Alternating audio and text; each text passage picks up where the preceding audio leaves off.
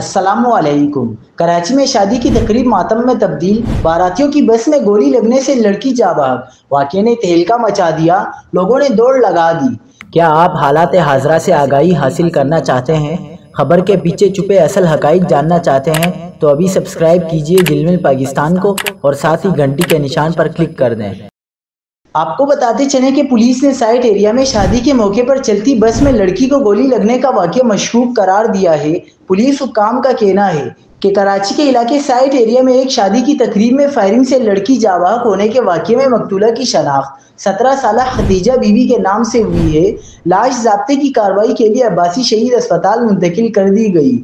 Versa کے بیان کے مطابق خدیجہ کو چلتی بس میں گولی لگی تھی۔ اسپتال رپورٹ کے مطابق خدیجہ کو سر پر لگنے والی گولی موت کی وجہ بنی۔ پولیس تاحال جائے وقوع کا تعین نہیں کر سکی ہے کہ لڑکی کو گولی کہاں لگی۔ جبکہ مقتولہ کی ورثہ کی جانب سے متضاد بیانات دیے جا رہے ہیں، پولیس حکام نے کہا ہے کہ بظاہر ایسا لگتا ہے کہ ورثہ حقائق کو چھپانے کی کوشش کر رہے ہیں۔